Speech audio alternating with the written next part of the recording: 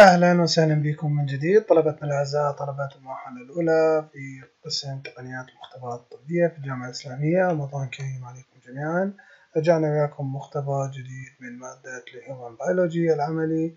راح نتحدث في هذا المختبر عن ال blood sample راح نتحدث عن كيفية سحب الدم ال blood collection وأيضا كيفية معالجة عينة الدم للحصول على نتائج من خلال هذه العينة. راح نتحدث عن آه، طريقة أولا طريقة جمع العينة. طريقة جمع العينة أنه سحب الدم غالبا يتم سحب الدم من الدم الوريدي يتم سحب الدم من أعلى الذراع من الجزء الأعلى من ذراع الشخص. آه، يفضل آه، أن يكون الشخص جالس ويتم ربط الجزء الأعلى من الذراع بواسطة tourniquet بواسطة حزام يسمى بال tourniquet ثم لغاية ضغط الدم ومن ثم نطلب من المريض أن يغلق قبضة اليد. ونقوم باختيار وريد مناسب واضح ظاهر للعيان ونضع ال needle بشكل موازي لذراع المريض ومن ثم نقوم بعملية السحب. راح نشوف الفيديو التالي اللي يوضح لنا طريقة سحب الدم بالطريقة الصحيحة. قبل أن نشوف الفيديو لازم نشوف شنو الأدوات اللي نحتاجها لعملية سحب الدم. أولا الأدوات اللي نحتاجها هي آه، المعقم المادة المعقمة لتعقيم منطقة آه، السحب. نحتاج إلى tourniquet لربط ذراع المريض. نحتاج إلى tube أحد أنواع ال tube ات. نختار tube مناسب للفحص. طبعا اختيار ال tube يعتمد على الفحص. آه، الذي نريد القيام به. هل نحتاج إلى سيام أم نحتاج إلى جمع آه، عينة سيام أم نحتاج إلى whole blood أو نحتاج إلى بلازما هذه الفحوصات أو نوعية الفحوصات اللي نحتاجها يتحدد نوعية ال tube وهذه التيوبات راح نتحدث عنها بشكل مفصل وكل تيوب اللون والمادة الحاوي عليها والفحوصات المستخدمة. أيضا نحتاج النيدل النيدل يجب أن يكون اختيار مناسب صغير أو كبير حسب آه، حجم السفنج أو الحب اللي نستخدمه. آه، السفنج أيضا يجب أن يكون disposable استخدام واحد فقط لا يمكن استخدامه مرة أخرى. نحتاج إلى بلاستر لإغلاق الجرح بعد سحب الدم وأيضا آه، ممكن نحتاج إلى ال gauze ويجب أن نرتدي القفازات. لاحظ هذه الصورة هنا واضحة. توضح عملية سحب الدم. هذه عن طريق ال hub. هذا ال hub ال hub يحتوي بداخله على needle ال needle يكون بالأعلى و needle داخل ال hub يقوم بثقب هذا ال tube اللي هو مفرغ من الهواء. لاحظ ربط ذراع المريض المريض جالس آه، ذراع المريض مربوطة من الأعلى ويتم وضع النيدل أو أداة السحب بشكل موازي لذراع المريض ومن ثم نقوم بعملية السحب. بعد طبعا قبل أن نقوم بالسحب لابد أن نعقم هذه المنطقة وبعد تعقيمها آه، ما يتم لمسها باليد. فقط أنه نعقم هذه المنطقة ونضع النيدل نختار الوريد المناسب ونضع النيدل عليها آه، نغرز النيدل داخل الوريد ونقوم بعملية السحب. راح نشوف الفيديو التالي يوضح لنا طريقة السحب. لاحظ هنا يقوم ذراع المريض بشكل لا يكون محكم جدا يضغط ويؤذي ذراع المريض ولا يكون بشكل راخي جدا إنه آه، آه، ما يمنع تدفق الدم. تنظيف المنطقة تعقيمها. طبعا بالإمكان أنه يستعين بأداة أخرى آه، غير تونيكا الحزام اللي معروف أو معهود. تعقيم تنظيف منطقة تعقيمها لاحظ هذه المنطقة الوريد اللي راح يسحب من عند الدم. ثم استخدم ال syringe ال syringe يكون جديد disposable لم يستخدم سابقا ولن يستخدم فيما بعد مع مريض آخر. لاحظ اختار الوريد المناسب يغرز ال needle يسحب كمية دم مناسبة.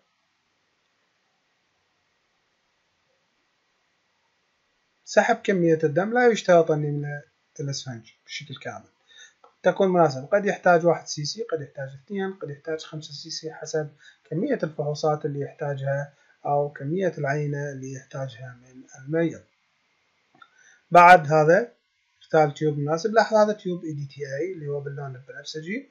هذا tube لفحوصات آه، صورة الدم الكاملة. ال tube الآخر هذا آه، serum tube لغرض الحصول على مصل الدم لغرض الفحوصات الكيميائية والمناعية. بعد النقل العينة يفصل ال needle عن ال syringe ومن ثم يتخلص منه بحاوية نفايات خاصة بالنفايات الطبية. ومن ثم يقوم بوضع قطنة أو قطعة شاش أو آه، بلاستر على ذراع المريض لغرض منع تدفق الدم أو منع النزف. الآن بعد أن شاهدنا عملية سحب الدم نرجع إلى موضوع اختيار التيوب المناسب لعينة الدم.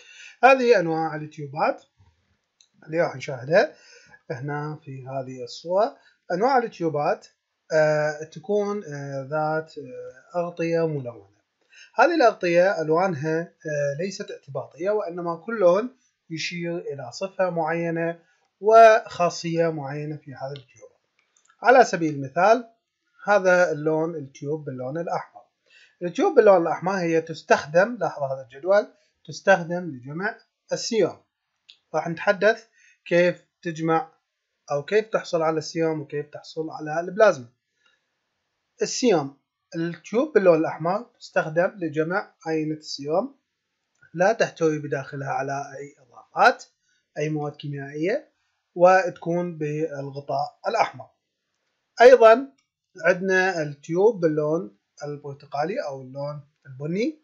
هذه تحتوي على مادة في داخلها اسمها ال clot activator. هذه تحفز على عملية تخثر الدم وبالتالي هذا يؤدي إلى إنتاج السيرم أيضا عندنا tube ثالث إضافة إلى الأحمر والبني أو البرتقالي هي ال tube باللون الأصفر. هذه تحتوي على gel. gel يكون أسفل ال tube آه كمية من الجل وإضافة إلى ال clot activator. هذا يساعد على تخثر الدم بسرعة عالية وبالتالي آه يؤدي إلى تحفيز إنتاج السيرم هذا ما يتعلق بإنتاج السيرم أيضا عندنا كيفية الحصول على البلازما. ال tube ات اللي نستخدمها للحصول على البلازما. عندنا ال tube الأول باللون الجاي أو الرمادي اللي يحتوي على داخله على ال sodium fluoride أو الصوديوم أو آه potassium fluoride أو يحتوي على ال oxalate. oxalate صوديوم وأيضا آه يحتوي على fluoride EDTA صوديوم أحد هذه المركبات يكون موجود داخل هذه التيوبة هذه التيوبة بالإمكان أنه نجمع من خلالها عينة البلازما وهذه تستخدم لفحوصات الجلوكوز. أيضا عندنا التيوبة باللون الأزرق بالغطاء ذات اللون الأزرق اللي تحتوي بداخلها على الصوديوم citrate. هذا الصوديوم citrate هو بتركيز 9 على 1 المادة تعمل على coagulation tube نسميه coagulation tube. هذه تستخدم لفحوصات التخثر وأيضا نطلق عليها ال PT PTT tube. تستخدم لجمع عينة البلازما. أيضا عندنا ال tube باللون الأخضر تحتوي على صوديوم هيباين أو ليثيوم هيباين. طبعا ال heparin tube تستخدم لجمع البلازما ولجمع أيضا الدم الكامل. راح نتحدث عن بالصورة التالية. راح نتحدث عن الفرق بين ال EDTA وال heparin tube ونشوف شنو الفرق بيناتهم ال heparin tube هو مادة طبيعية. آآ آآ يكون داخل التيوبة بشكل صوديوم هيباين أو ليثيوم هيباين وتستخدم لجمع البلازما. أيضا عندنا ال tube الآخر اللي هو باللون البنفسجي بالغطاء ذا اللون البنفسجي اللي هو EDTA K2 و EDTA K3 وهذا يستخدم يحتوي على مادة ال EDTA ال EDTA اللي هي ethylene tetra acetic acid ethylene diamine tetra acetic acid ethylene E D diamine T tetra acetic A acid وأيضا عندنا ال tube باللون الأسود اللي هو يحتوي على صوديوم citrate 4 إلى 1 لاحظ هنا فرق بيناتهم. صوديوم citrate 9 إلى 1 تستخدم فحوصات التخثر نسميها coagulant أو coagulation tube. في حين اللي تحتوي على صوديوم citrate 4 إلى 1 يكون بالغطاء الأسود وهذه تستخدم لفحوصات ال ESR اللي هو sedimentation erythrocyte ratio وأيضا تستخدم لجمع ال whole blood أيضا ال heparin tube ممكن استخدامها لجمع البلازما وال whole blood وأيضا ال EDTA tube ممكن استخدامها لجمع البلازما وال whole blood هذا تفاصيل عن التيوبات. أيضا هذه الصور توضح لنا أنواع التيوبات. هذا gel activator tube هذا باللون الأحمر اللي قلنا بدون إضافات. وهذا أيضا آه، لجمع آه، آه، الجمع السيام هذه كلها تستخدم لجمع السيام هذه ال EDTA tube تستخدم لجمع البلازما ولجمع مثل ما ذكرنا بالصورة السابقة. البلازما وال whole blood. أيضا عندنا ال tube الاسود أيضا لعينة للحصول على عينة البلازما وال whole blood. وكذلك آه، ال PT PTT وال heparin tube والجلوكوز tube أو ال gray tube هنا أيضا لابد أن نذكر الفرق بين ال EDTA tube وال heparin tube كلاهما يستخدم للحصول على الدم الكامل أو ال blood وأيضا كلاهما يستخدم للحصول على البلازما. لكن شنو الفرق بين النوعين من التيوبات ال heparin tube ال heparin هي مادة طبيعية موجودة في أجسام اللبائن تمنع تخثر الدم داخل جسم اللبائن. في حين ال هي مادة كيميائية مصنعة يتم تصنيعها مختبريا أو في معامل خاصة. آه، ال EDTA تكون أرخص ثمنا من الهيباين من مادة الهيباين. ال EDTA آه، تكون tube ال EDTA EDTA آه، مرتبط ببوتاسيوم بوتاسيوم EDTA K3 أو K2 طبعا K3 يكون liquid K2 يكون powder في حين الهيبارين أما مرتبط بعنصر الليثيوم أو مرتبط بعنصر الصوديوم داخل ال tube. إضافة إلى أنه آه، ال heparin tube الفرق الأساسي بينهما ال heparin tube يعمل على تقييد العناصر الخاصة بعملية التخثر في حين ال platelet يعمل على منع الصفيحات الدموية من عفوا EDTA يعمل على منع ال platelet من التكسر وبالتالي تكوين EDTA يعمل على منع تكسر الصفيحات الدموية وبالتالي يقيد أو يمنع الدم من التخثر في حين الهيباين. لا يمنع تكسر الصفيحات الدموية لكنه يقيد العناصر التي تحفز أو التي تقوم بتخثير الدم. لذا لما يكون عندنا فحص CBC فحص ال CBC اللي هو فحص صورة الدم كاملة ومن خلال الفحص نريد نعرف عدد ال platelet يفضل استخدام ال EDTA لأنه حيكون عدد ال platelet كامل ولم يتكسر ولم يفقد منها الدم شيئا. في حين الهيباين هنا يفقد الكثير من ال platelet ويكون العدد غير حقيقي. بعد أن تحدثنا عن آه، العينات تحدثنا عن سحب الدم عفوا وتحدثنا عن أنواع التيوبات الآن نتحدث عن السيام أو البلازما آه هذه التيوبات اللي ذكرناها هذه اللي ذكرناها قبل قليل هي آه تستخدم إنه اختيار ال tube آه يعتمد على نوع العينة اللي أنا احتاجها هل أنا أحتاج سيام أو أحتاج بلازما أو أحتاج whole blood بناء على نوع العينة بعد ما أسحب الدم أختار هذه نوع هذه التيوبة أختار إنه إذا كنت أحتاج إلى سيام لازم أختار إحدى التيوبات اللي تنطيني السيام إذا كنت أحتاج إلى بلازما أختار إحدى التيوبات تعطيني بلازما أو أختار احدى التيوبات اللي تعطيني whole blood في حالة احتاجت الدم بالصورة الكاملة الآن كيفية الحصول على السيام أو البلازما؟ السيام شنو؟ ما هو السيام السيام is the liquid a fraction of whole blood that is collected after the blood is allowed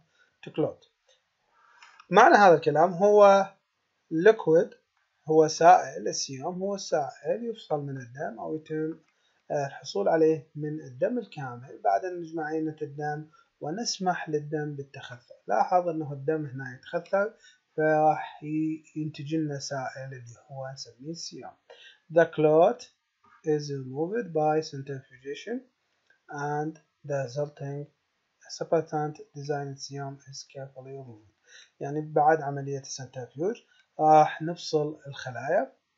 ونفصل الدم المتخثر وبالتالي راح نحصل على السيوم كيف نحصل على السيوم أثناء سحب الدم آه نختار التيوبة المناسبة لعملية الحصول على السيوم كان تكون clot activator أو gel with clot activator أو plain tube اللي هي تكون فارغة بدون إضافات ذات اللون الأحمر أو الغطاء الأحمر أو تيوبة ذات الغطاء الأبيض أيضا اللي تكون فارغة يمكن من خلال الحصول على السيوم خلي بها عينة الدم. راح نترك عينة الدم لمدة آه، بدرجة حرارة الغرفة لفترة قصيرة آه، ويبدأ الدم بالتخثر. طبعا إذا كانت ال clot activator تحتوي على مادة محفزة لعملية التخثر راح تكون العملية أسرع. ثم ناخذها لفصل الدم المتخثر نضعها في ال centrifuge بسرعة 1000 إلى 2000 دورة بالدقيقة لمدة 10 دقائق. طبعا بالإمكان هذه السرعة أن نضاعفها على سبيل المثال نخليها 4000 دورة بالدقيقة لمدة 5 دقائق أو 4 دقائق. هذه كافية جدا. أنه نضاعف السرعة ونقلل الوقت راح نحصل على السيوم الخاص بنا. البلازما بالنسبة للبلازما البلازما أيضا ممكن إنتاجها بعد أن آه، ناخذ العينة أو ناخذ عينة الدم ونضعها بال tube الخاص بجمع البلازما. بعد ما وضعنا هذا ال tube الخاص الدم بال tube الخاص بجمع البلازما راح أيضا ناخذها إلى ال centrifuge بنفس الطريقة بنفس السرعة. آه،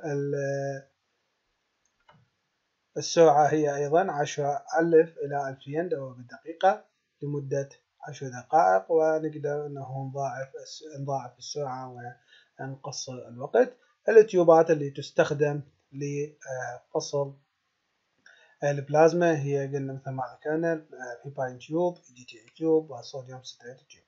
طيب شنو الفرق بين البلازما والسيوم إحنا قلنا إنه بالسيوم نترك الدم ليتخثر التيوبة حاوية على محفز للتخثر أو لا تحتوي على أي مادة وبالتالي هنا الدم راح في حين بالبلازما بالبلازما التيوبة حاوية على مادة مضادة للتخثر.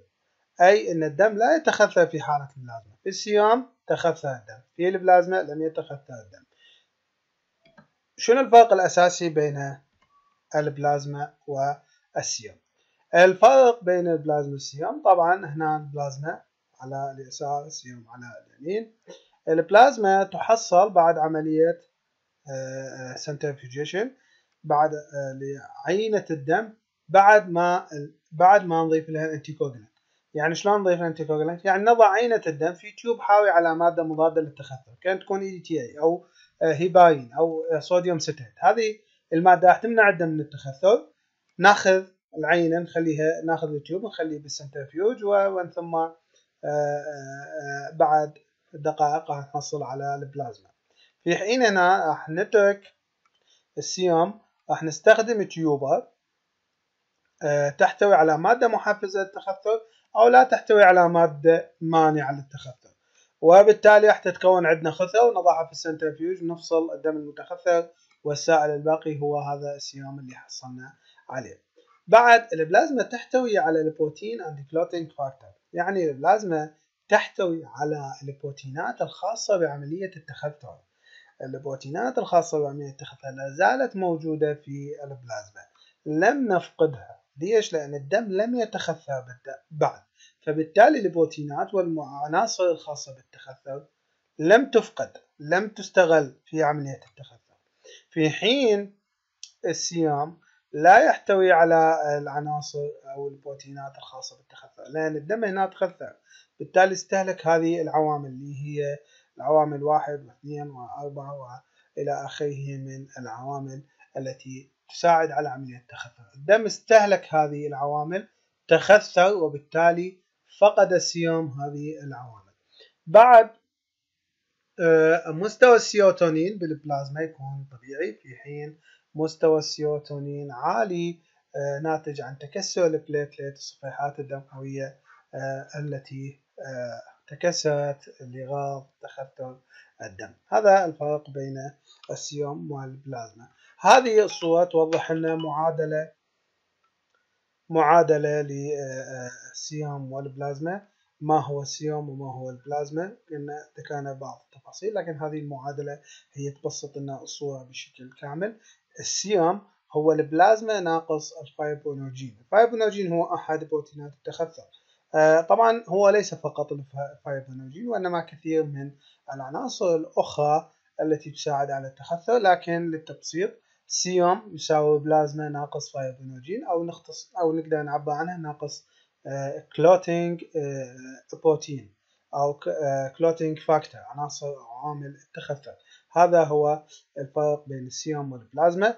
السيوم يجمع في tube يحتوي على مادة محفزة للتخثر أو لا يحتوي على أي مادة ويترك ليتخثر في حين البلازما يجمع في tube حاوية على مادة تمنع التخثر وبالتالي الدم لن يتخثر في هذه الحالة. هذا ما يتعلق بعينة الدم كيفية السحب وكيفية معالجتها للحصول على سيام البلازما وكيفية اختيار ال tube المناسب للفحص. طبعا ال tube ات اللي ذكرناها كل tube كل مجموعة فحوصات إنه أختار ال tube المناسب له للفحوصات الكيميائية راح تكون مذكورة بالمحاضرة ال PDF التي مرفقة مع آه، على الموقع مع هذا المحاضرة الفيديوية. شكرا لكم شكرا لحسن الإصغاء. وفي حال وجود استفسارات حول المحاضرة أو المحاضرات الأخرى يرجى مراسلة أستاذ المادة على منصة التعليم الإلكتروني في موقع الجامعة الإسلامية.